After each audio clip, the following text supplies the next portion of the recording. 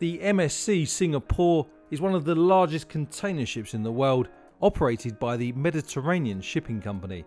Let's take a closer look at this impressive vessel. The MSC Singapore was built in 2018 and measures nearly 400 metres in length and 61.5 metres in width. Its capacity is a staggering 23,755 TEUs, making it one of the most massive container ships on the planet. Powering this giant container ship is a single MAN B&W 11S9 0MEC diesel engine, capable of propelling it to a top speed of over 20 miles per hour. And despite its size and speed, the MSC Singapore was designed with fuel efficiency and environmental performance in mind, thanks to the innovations of the MSC's class of container ships. The MSC Singapore is registered in Panama and sails under the Panamanian flag. And while it may be an impressive feat of engineering, it takes a skilled crew to keep this ship running smoothly on its regular route between Asia and Europe.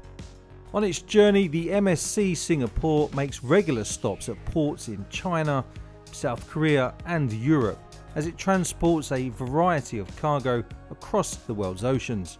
And with its vast size and capacity, it's a vital component of global trade and commerce.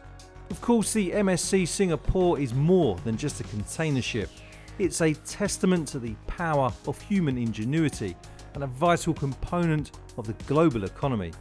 And as long as trade and commerce continue to connect people and markets across the world, ships like the MSC Singapore will continue to ply the world's oceans. Thanks for watching. If you enjoyed this footage, don't forget to subscribe to my YouTube channel so you never miss a video. And if you're interested in learning more about the equipment I use, check out the affiliate links in the video description.